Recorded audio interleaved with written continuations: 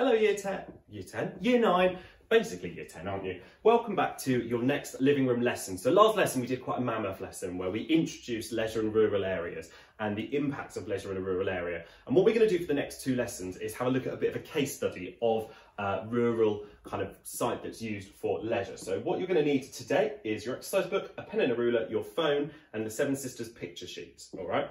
So before we get started, um, Here's your jog the memory. So pause your videos, uh, scan the QR code or click the link, open the link um, and have a go at the questions. Please put in your name. Please all have a go at this because it's really useful for us to know who is actually doing the lessons. Okay, so I have actually already said the name of the place we're going, but hopefully you've all forgotten already. Um, where are we going? Well, we are actually going. We will be going in year 10. Get excited. So the place that we are studying today, here are three images of it. So it's a place quite local to us. It's a place I'm sure a lot of you have been before. Um, it's a place near the coast, place with a beautiful river, lovely long walks, uh, also a big woods behind it where lots of people go cycling. Hopefully you're all shouting now. I know where it is, Mr. Smith. We are today having a look at the Seven Sisters Country Park. All right, so please can you write in a title, which is Leisure at the Seven Sisters Country Park. Write that in, underline it with a ruler for me, and we will get started. So, this big red blob here is the Seven Sisters Country Park. Um, you guys are, or you're just off the map. Here's the bottom of the word Hassocks here. So that's where you guys are. So it's not very far from us. It takes about 40 minutes, 35 minutes to get there. And as I mentioned, those of you doing GCSE geography, we will all be going there in year 10 because one of your day's field work will be out to the Seven Sisters Country Park. So you're all going to go there and explore this wonderful place. But what I would like you to do first is tell me the location. So I want you in your books to write three bullet points, and those three bullet points need to be descriptions of the location. Now remember, when you are describing somewhere's location, you need to use compass directions, okay? So I'm going to give you one now to get you started, but you need to come up with three of your own. So, Seven Sisters Country Park is southwest of Polegate, southwest of Polegate, all right? So have a go at answering that in your books. Three quick descriptive points. Okay, so hopefully you've had a go at that. Some of the key ones I'm sure lots of you will have done is that Seven Sisters Country Park is southeast of Brighton.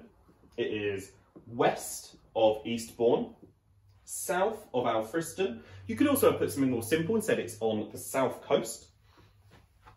So Seven Sisters Country Park is a country park, surprising. And obviously last lesson we learned about the kind of five main different ways natural areas are managed. And we didn't really talk about country parks very much. I kind of skated over that one because I knew we were coming back to it. So a country park is an area of countryside that is set aside for public recreation. So it is a place that is designated as a park for the public to go and visit and do a range of different activities.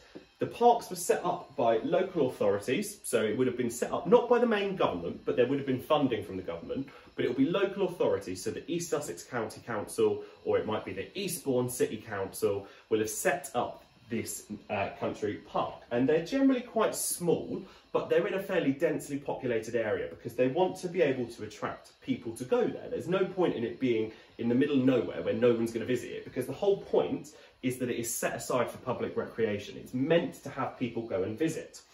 So the country park is now within the South Downs National Park. So not only is it kind of following the aims of a country park, but it also has that extra level of protection of being in a national park.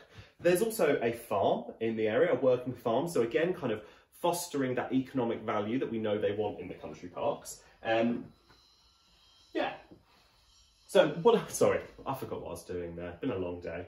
What I'd like to do next is pause your video and I just want you to write down the definition of a country park. So a country park equals, and then the red bit, all right? Okay, so hopefully most of you were able to print out the sheet with these four pictures on. Don't worry if not, not a problem. Just make your looks, your looks, your books look a little bit more exciting.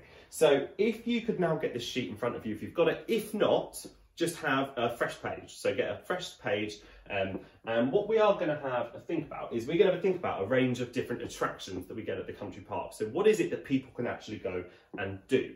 So the first thing I'd like to do, either write it around your pictures or write it off a mind map that says attractions in the middle. I want you to summarise this information about the main attractions in the country park. Okay, so the key bits you should have got, they're in red, so it's quite easy for you. 280 hectares, so it's fairly big. Unspoilt stretches of coastline.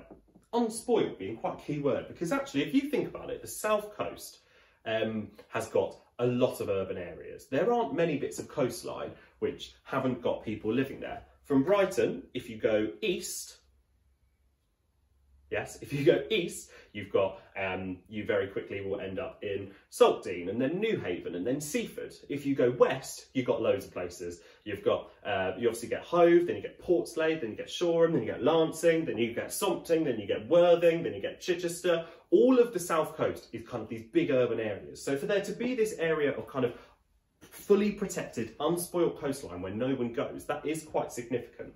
It's also within an AONB because you've got these beautiful cliffs, you've got river valleys, you've got an estuary, you've got meanders, you've got loads of important features there. There's a wide range of habitats that different animals can use. Um, so you've got chalk downlands on the cliffs, you've got lagoons down by the water, you've got the water meadows by the rivers, so you've got a load of different types of ecosystem and habitat. And it's also an SSSI, so it is protected because it has a lot of rare animal species there. So what I'd like you to do next, still with your pictures in front of you, is I want you to go to this street view here. I want you to have a little rummage around the country park and I want you to just add some more little attractions that you can pick out.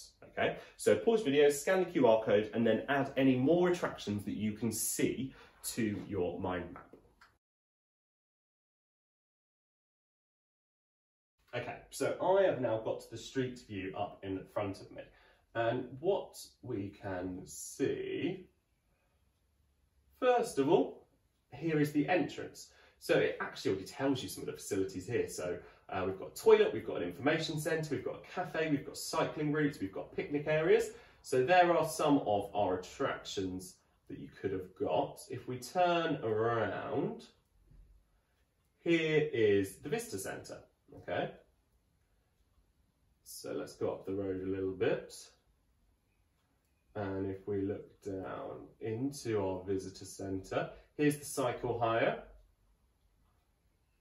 And then down there is a path down to the visitor centre. If we spin all the way around, here is the country park. Let's see if I can go in the car park. I don't think it will let me. So down the end of the car park, there is, oh, I'm in, I'm in. We come all the way down here, there is a water sports site. So you can do water sports at Seven Sisters Country Park. You can do paddle boarding. Uh, I'm, I'm quite impressed with how I'm spinning all this round actually. And then let's go back out. Okay. Ooh. And then along the road a little bit more. Let's go in the other entrance to the other car park. Oh, I've gone past. Uh, I don't think I'm going to be able to go in that car park. We're in. And up here. Oh, look how far we've got. Here is the other car park. These are the Friston Woods. So up here, you've got loads of walking trails, you've got cycling trails all round the woods, okay? So hopefully you've managed to add, let me see, will it take me to the actual park? I don't think it will. Oh my goodness, it will. We're in the national park. Isn't that good? So here we are walking along the concrete path that goes straight through the park. How far will it let us go?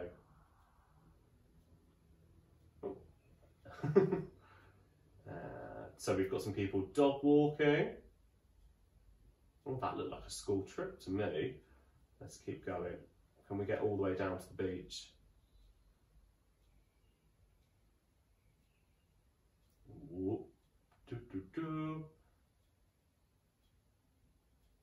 Isn't this cool, guys? It's like we're all at the country park together. we're getting there. Very rainy day. It always rains when we go to Seven Sisters. Look forward to that. Oh, looks like another school trip there. Not one of our school trips, is it? Do I recognise himself? No, I'm not on here. He looks like a cool teacher to me though.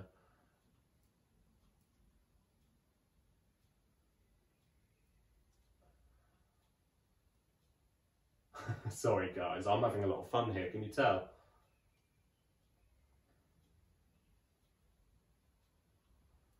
Up here, we have got a campsite. So there is also a campsite. Right, we'll stop there because otherwise I'm just getting a bit too excited, aren't I? How do I get out of here? Let me out. okay.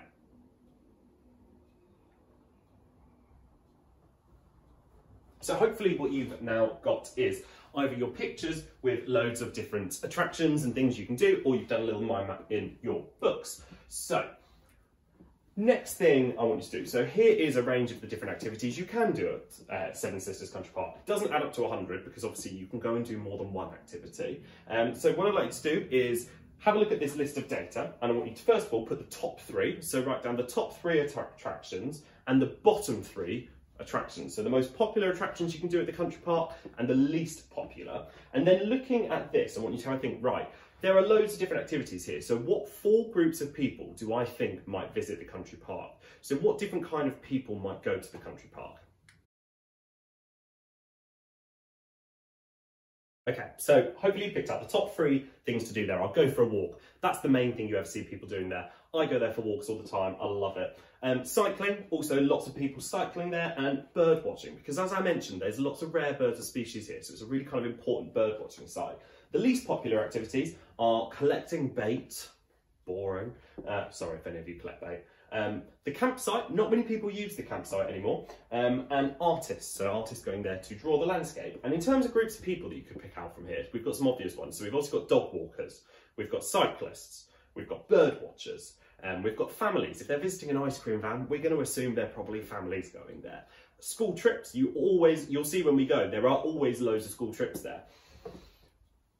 So what we're going to finish today by doing is a some maths, yay! And we're going to be doing some maths, having a look at a survey that was created of the national park. So the staff who work there made a survey of the country park, sorry. Um, and what they did was they counted the amount of cars coming into the car park. They then worked out the average number of people who they think would be travelling in the cars um, to work out the average number. But rather than standing by each car and counting every single person that came out, they just kind of did an approximate guess. Why do you think it might be that they didn't actually stand and count every single person coming in and, in and out of the cars? It would probably be down to the fact that that would be weird to stand over each car. One, two, three, not really worth your time, is it? Okay, so they would have done an approximate guess because actually they don't have the manpower to be doing um, a count of everyone. So the first set of data you've got here is the weekly figures for January. So the amount of cars and people visiting each week in January. So the first week, second week, third week and fourth week. So what I'd like to do first of all is pause your videos and answer these five questions based on that set of data, okay? Okay, yeah, nine. So I've been doing a bit of quick maths over here. So our first question, how many people did the park estimate would visit in January? So people, we need to add up all four of these numbers, which would give us 18,148. Calculate the total number of cars. So again, we add up all of these numbers, which is 6259. And then the third question is work out how many people the park estimated were in each car. So to do that, you need to divide the total number of people by cars, which gives us 2.8. So they were estimating that there were 2.8 people per car. Um, in terms of whether you think this is a good way of assessing visitor numbers, what do you think? Do you think it's good? Is it bad? Why? Um, how could this data be shown effectively? So we could show this on a bar chart because we've got discrete categories. Um, so we could have two bars, we could have cars as red bars, people as blue bars and have it each week of the month would be quite a good way of showing this data.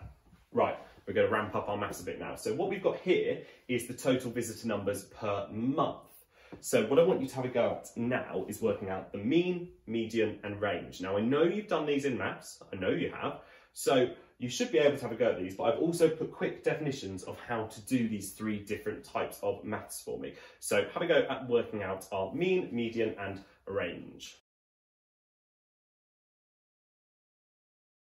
Okay, so what you've been doing here are finding different ways to work out the averages because the mean, median, range, mode are all different types of working out an average. So the first one that you should have done is our mean. So in order to work out the mean, you would take the total number and divide it by the total number of groups. So our total number is 327,000 and there were 12 different months.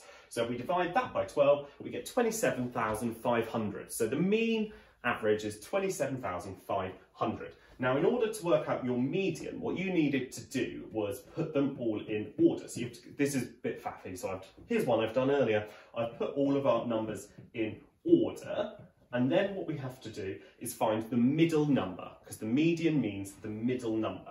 So I've already worked out that the middle is somewhere between 25,200 and 26,700. So in order to work out our middle number, we need to first of all work out the difference. So we've got 8 plus 800 plus 700, which equals 15, 1,500. My maths is terrible. So the difference is 1,500. If we divide this by 2, we've got 750. So we now need to add 750 to our highest middle number, 25,200. So we would have